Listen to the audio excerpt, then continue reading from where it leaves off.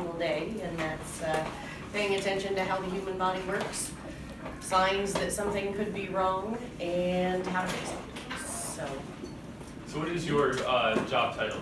I am a registered nurse at Poudre Valley Hospital. I work in the perioperative department, meaning the outside areas of the operating rooms. So I get people ready for surgery, screen them for all their medications, health risks, problems that could be a potential, and then in the recovery room, we take care of people that are just waking up from anesthesia, that have just had either a minor operation or sometimes a series of very complicated operations.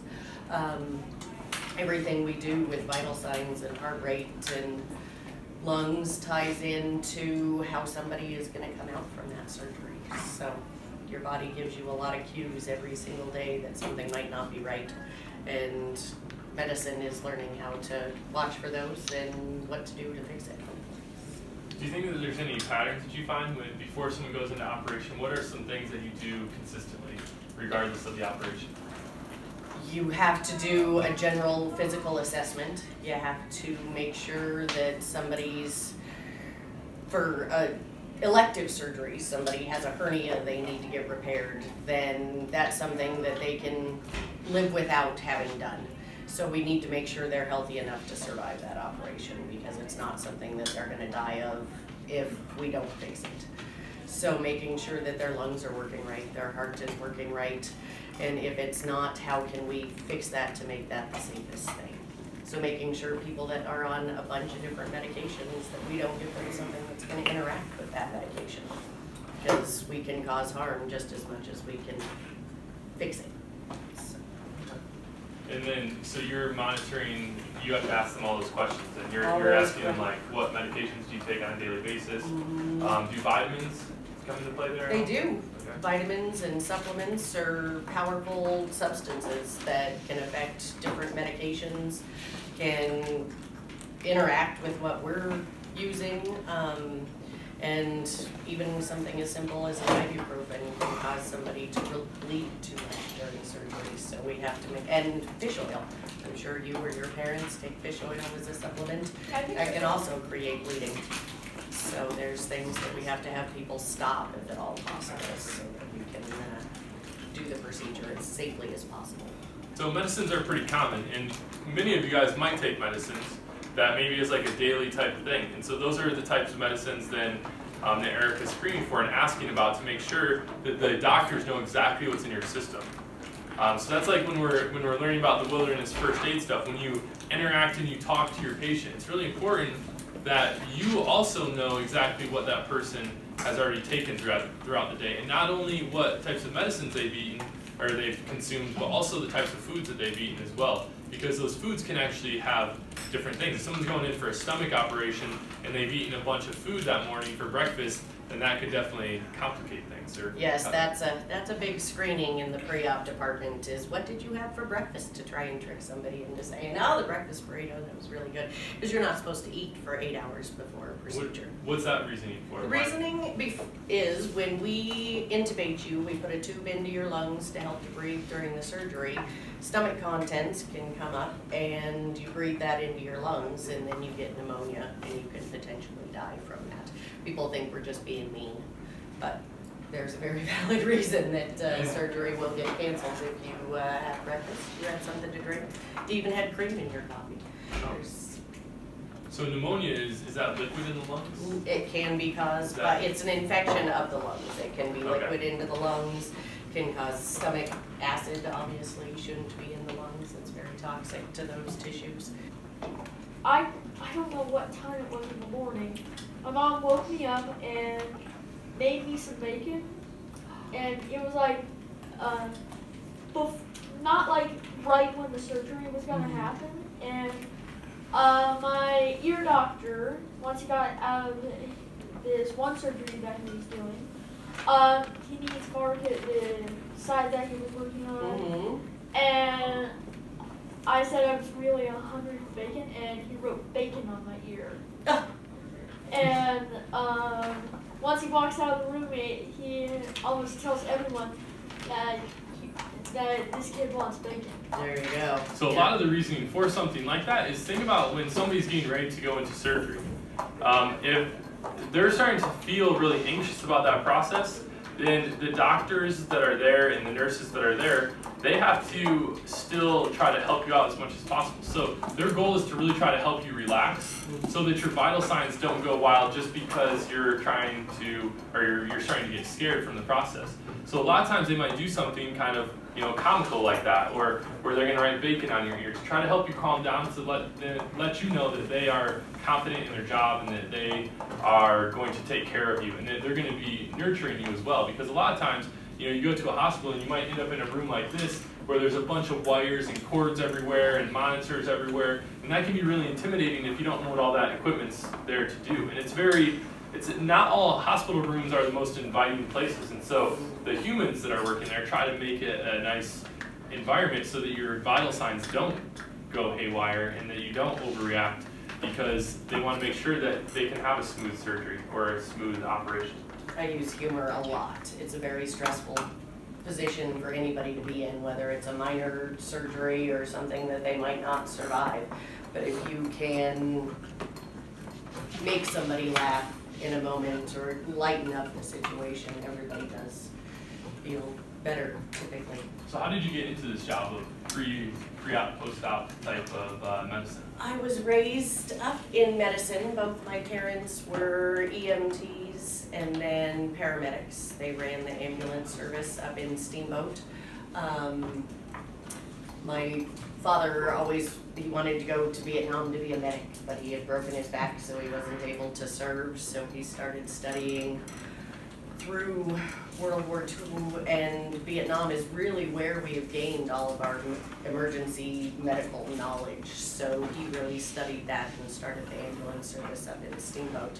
So I sat through CPR classes and first aid classes from the time I was five years up. I was the victim for all the classes. I would lay there and hold a oatmeal in my mouth to puke on the little EMT students as they came through to try and save me and uh, it was always fun, but it's always, it sparked a passion in me and throughout my entire career, I have been in some form of medicine. Whether that was drawing blood for the laboratory or working as an EMT or working in the emergency room, but I have been in the hospital since I was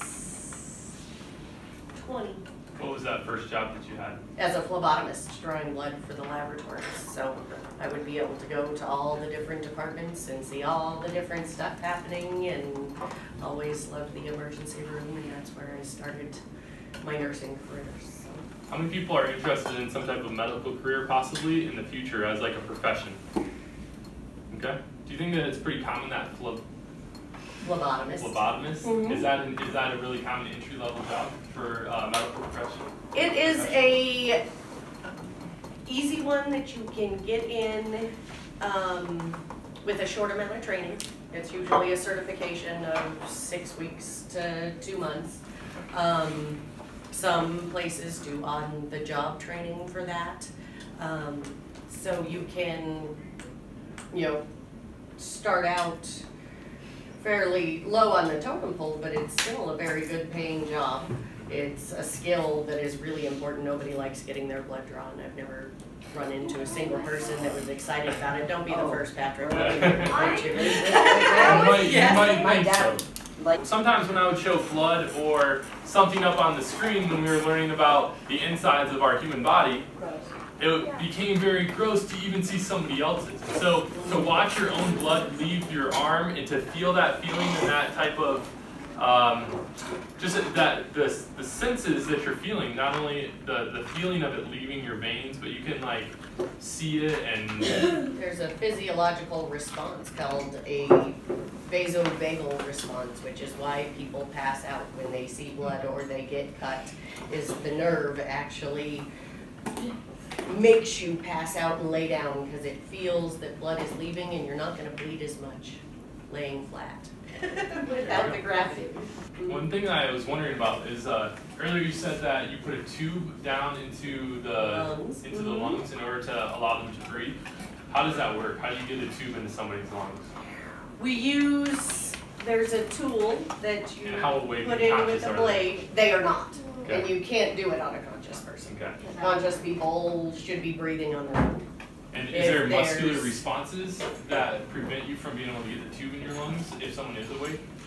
They are just gonna Like, fight. Okay. I mean, Yeah. if you had somebody that was completely un- un- unconscious, then you can do it. But we do give medications that paralyze people before we do that procedure. So they are, one, sedated completely, and then two, paralyzed so that they cannot have, that all these muscles do relax. And that allows you to open up the jaw further and you visualize through the vocal cords and it's a little, it's called an endotracheal tube. And it's got a wire that goes through that's a guide wire, so it keeps it stiff, because otherwise it would be floppy and you couldn't guide it correctly. So as you guide it in through the vocal cords, down into the lungs, and then you inflate a little balloon that keeps it in the right spot. And we always have to be very careful of getting it in the correct spot, because you guys have seen pictures of the lungs, and you can go down one bronchial tube and only be inflating one lung. So you always have to make sure that placement is correct, and you always have to make sure it's not in the esophagus, because what would happen if it went into the esophagus?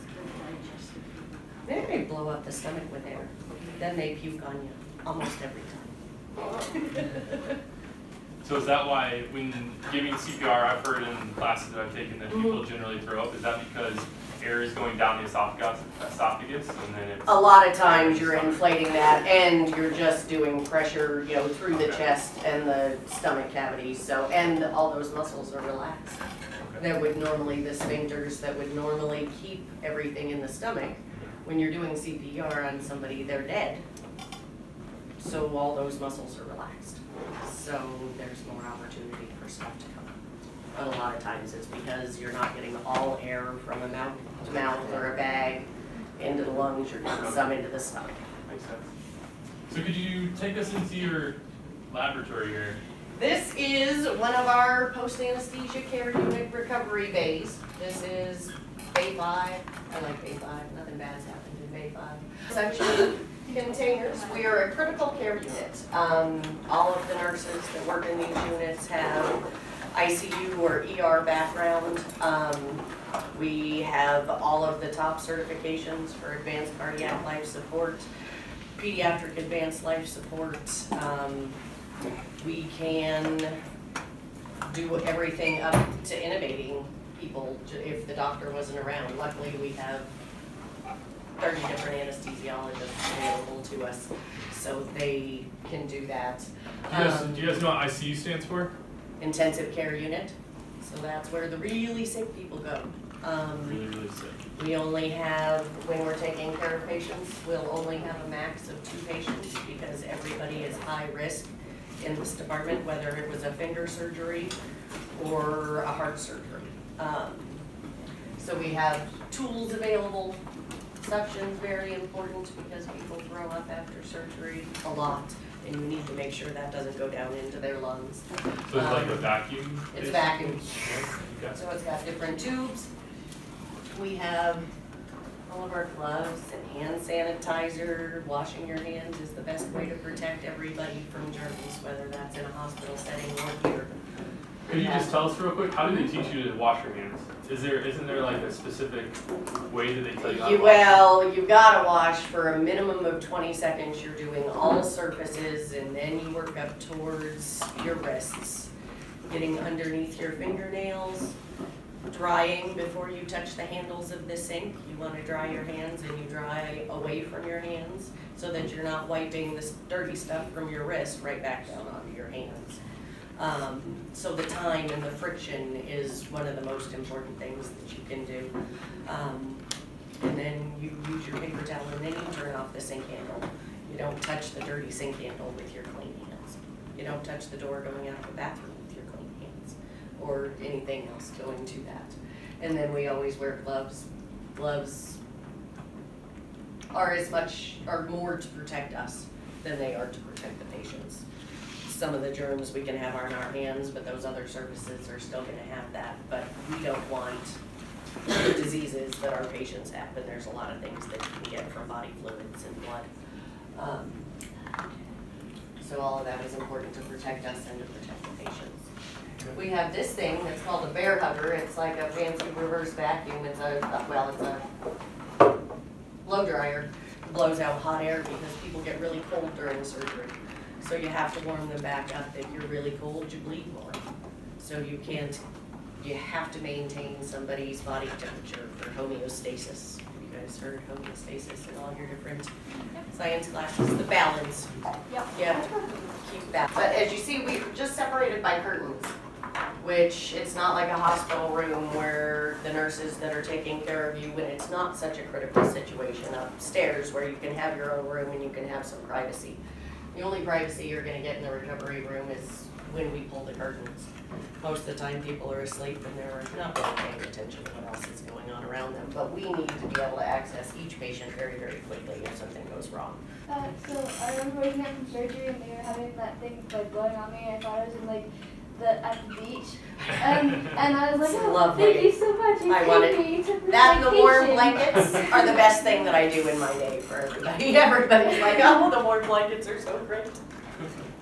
And the EKG, the heart rhythm, is the other thing, not just the rate, you gotta know that the rhythm is correct, that the electricity is traveling through the heart in the correct timing, the correct way, that it's regular. Um, fifty-four, normal adult heart rate is between sixty and hundred, that's what they call a re- a regular, yeah, this is some, when somebody sleeping. Healthier people have lower heart rates. Marathon runners will come in and my alarms are going off constantly because it's beeping at forty the whole time and the heart monitor thinks they're sick when they're actually oh, healthier than most. We oh, got, the white one is respiratory rate. So you can have something like that that's got some really wiggly beat or a tap on their finger or something like that. So you have to use your eyes and not just your monitor. We have to look at a patient and say, do they look like their saturation is fifty percent? Is their color okay? Are they, are their lips blue? You know, does, there's a bunch of different things that happen that your body can show you. Half of, mm, I would say eighty percent of my assessment is what I see in a person and how they look and are they breathing okay? Are they re- breathing regularly? Is their color good? Are they alert? Or are they so sedated or so out of it that fifty percent makes sense if their oxygen saturation was low? So we use these as tools as well as our brain and our experience and our knowledge. So one thing that's really important in the medical field is that not only are we use, using these uh, types of measurement tools, and the pulse ox is exactly like this screen here, it just doesn't have the waveforms on it, these tools that we've used. So they have more technical tools, but they still have to use those um, observations of seeing somebody and being able to be a human and look at that other human and be like, wow, that person's lips are blue. That's not normal, and that's not lipstick. So therefore, we got to somehow figure out what's wrong with that person and help We them out. just discussing blue lipstick the other day, that Oh. creeps me out because it automatically cues me to Oh. somebody being sick. Like, not That's fond funny. of this style. All right, so I brought an AED. Do you guys know what that is? Automated external defibrillator.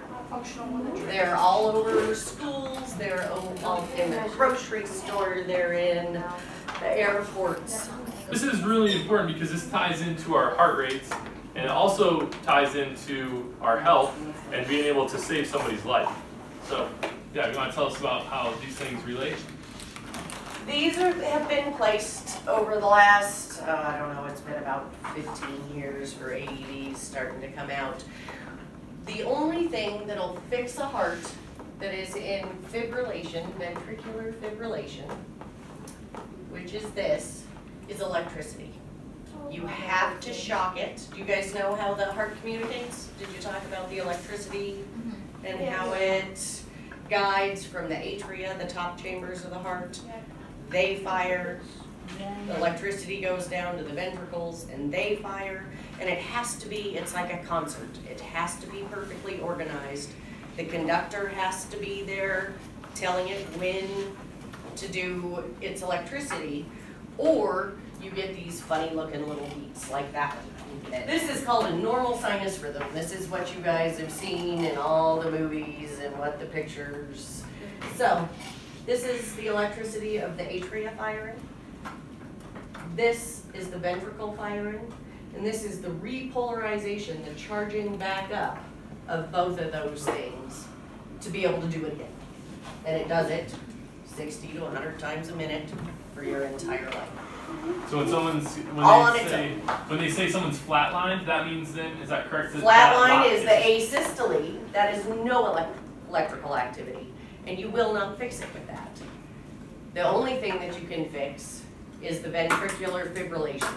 When the disorganized rhythm, the atria are up here talking, and the ventricles are firing on their own, and it's disorganized, and therefore the pump cannot work. Cannot pump blood if it's doing this. It's gotta do to be able to get that flow to go out to your vessels.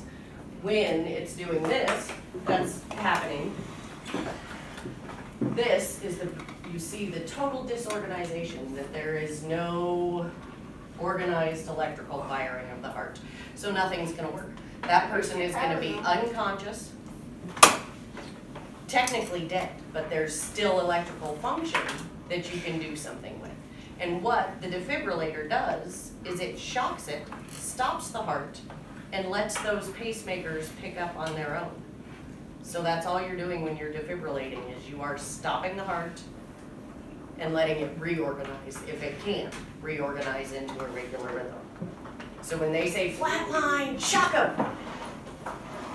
Good, you gotta do CPR, you gotta beat for that heart and do the CPR and pump the blood around so that the brain can stay alive with that oxygen. So with the AED, these guys are set up to talk you through CPR, how to apply the pads, and it will read the rhythm instead of having a doctor or nurse there to tell you whether you're in ventricular fibrillation. That machine will do it for you. Let me say- This thing is designed to walk you through, like Erica said, step by step. As shown. So these pads come, all of them, these are very similar to what we have in the hospital for our fancy defibrillators. And it tells you that it wants one pad here and it wants the other pad here. Why do you think that would be? If the electricity is gonna go through those two spots. Now go through the heart. Right across the heart, not the way you do. Check The other. and pads. Yep, This way. yep. Put it over here, you're gonna shock their liver and they're not gonna end well. The reason that this is so important to show you guys is because, um, like Erica was saying, that these are now placed in a lot of locations, and we do have one here in our school. So if something were to ever happen, um, you know, hopefully that we would never have to use this skill, but it's really important that you guys do know how to do this because you guys are completely capable of using this skill to Mhm. save somebody's life. And this thing is designed to really walk you through it step by step. And that's why it's like constantly just talking because we're not doing anything yet. And it Right. knows that we're not doing anything yet. So it's trying to say, hey, do this, do this, do this, do this, so that we can save this person's life. Because if we just sit here and we look at this and we like read a manual for a while, then mm. this person could die in that time. So it's actually You meant can to do talk to you. module, Remove clothing from person's chest. and you gotta be bare skin. You can't be part over a bra, you can't be over a pads firmly t-shirt. To person's That- chest as shown. Shirt is coming off, it's the only way to do it. So that's never started So this, well, yeah, and these have to connect to the skin to transfer the Plug in electricity. connector. So you can see the pads have those pictures on them. Everyone stand clear. You don't wanna be touching it because it might read your rhythm. Shock advised. Charging. Really good, this person can be saved if the shock is advised. It's charging, Everyone stand clear. and you make sure nobody's touching it, not an elbow, not a finger, everybody, when we say it in the hospital, we're saying, Push the shock I'm clear, you're clear, everybody's clear, and you look and make sure nobody's touching, because it will go through Push your patient. button. Shock delivered. Begin five cycles of CPR. And it's got a metronome that tells you how fast you should be pushing on that person's chest. They've come out that you don't have to do breaths anymore. For people that are not in the hospital or don't have a way to breathe for the patient, that just doing good, fast CPR is enough to keep the brain alive while you're getting to the hospital. So some two things I want to point out is that first off is that you don't touch the patient because as me, I'm alive. I'm trying to save this patient. If I'm touching them, then this can actually read the electricity from my body and it can actually think that this person is still alive because it might be reading my own heartbeat. So that's why it says step away, don't touch the patient, and it reads the heart rate. It actually gains information from these pads mm-hmm. to figure out whether or not that you can actually put electricity into the person. If they're already healthy and their heart rate's going fine, and you just accident, you this person just passed out, and it's not mm-hmm. their heart that's a problem, it won't. It will tell you not to. Yeah. It won't shock It them. will not let you It shock let you anything except for ventricular fibrillation, which is that Oh. main rhythm that we can fix with Oh, electricity. So it's a very smart device. And the second mm-hmm. thing I want to point out is that there's no electricity that's sent to the pads until you, as the person doing it, pushes that green button. There's no electricity. So you're there trying to help the person, and it won't happen until you actually push the button. And it will tell you to push the button at that time. So you don't need to be afraid of the, the pads shocking you. You don't need to be worried about there being some extra electricity or anything. This is a very smart device, and it will only actually apply the shock if that is required. And it can read the person's heart rate. It can tell you whether or not that shock is required. All right, let's thank Erica for being here today and sharing this information with us. Thank you, Erica!